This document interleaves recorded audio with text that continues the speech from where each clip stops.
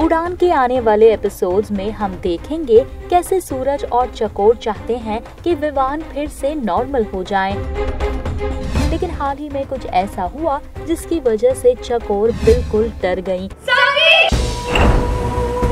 दरअसल सानवी के सर पर पंखा गिरने वाला था, लेकिन एन वक्त पर विवान वहाँ पहुंचकर सानवी को बचा लेते हैं